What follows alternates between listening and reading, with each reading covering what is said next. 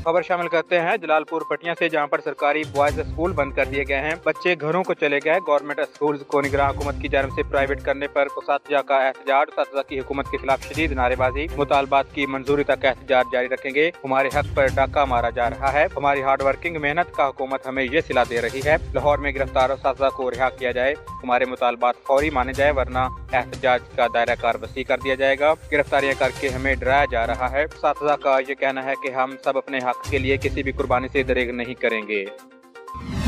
सरगोदा में फलस्तीन से इजार यकजाती के लिए तहरीक लबैक की तरफ़ से एहतजाजी रैली कल निकलेगी। सईदौन शराजी की रिपोर्ट के मुताबिक लबैक या अक्सा मार्च मोहम्मद इकराम खान उम्मीदवार M P A P P छिहत्तर तहरीक लबैक पाकिस्तान सरगोदा की क्यारत में मुजाहिद कलोनी में रोड से बारह बजे शुरू होगी, जो मुख्तलिफ़ रास्तों से होती हुई मरकजी रैली आस्ताना आलिया अनवर मुजम्बल सैंतालीस चक में शिरकत करेगी और मरकजी रैली जुमा के बाद आस्ताना आलिया अनवर मुजम्बल सैंतालीस चक से शुरू होगी और मरकजी रैली की क्यारत पीर सैद सदीक अमीन शाह अमीर जिला सरगोदा तहरीक लबैक पाकिस्तान करेंगे। रैली की निगरानी मोहम्मद जावेद रिजवी नाजम जिला सरगोदा तहरीक लबैक पाकिस्तान करेंगे। मरकजी रैली आस्ताना आलिया, अनवर मुजम्मल सैंतालीस चक से शुरू होकर सिटी स्टाफ अख्ताम पजीर होगी।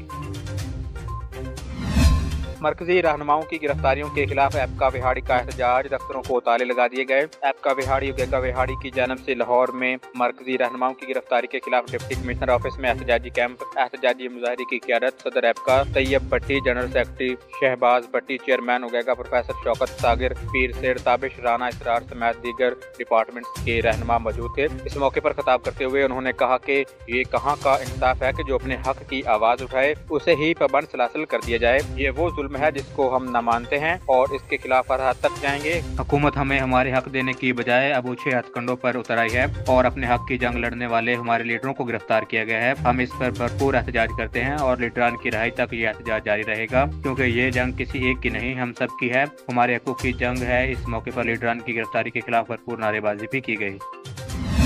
सरगोदा में मकतबा अल तशी की तरफ़ से फलस्तीन की हमायत में प्रेस क्लब सरगोदा में हंगामी प्रेस कॉन्फ्रेंस की गई। सैदौन शराजी की रिपोर्ट के मुताबिक मकतबा अल तशी की जानब से सरगोदा प्रेस क्लब में प्रिंसिपल दारूम मोहम्मदिया मलक नसीर ने फलस्तीनी भाइयों से इजार यकजहती का इजहार किया और कहा कि बाहसीत मुसलमान हमें मुश्किल की इस घड़ी में फलस्तीन पे होने वाले जुल्म की मजम्मत करनी चाहिए और फलस्तनी भाइयों का साथ देना चाहिए। मैं अब तमाम दोस्तान की खिदमत में यही अर्ज़ करना चाहूँगा जी कि आज फ़लस्तीन के मज़लूम और गज़ा के मज़लूम मुसलमान इसराइल के जुल्म, इस्तबदाद और बरबरीत के सामने सीना सिपर हो चुके हैं। तमाम मुसलमानों को चाहिए कि हर किस्म का ताउन उनके साथ करें और अपने मुसलमान भाइयों की हर नौ और हर गुने मदद करें।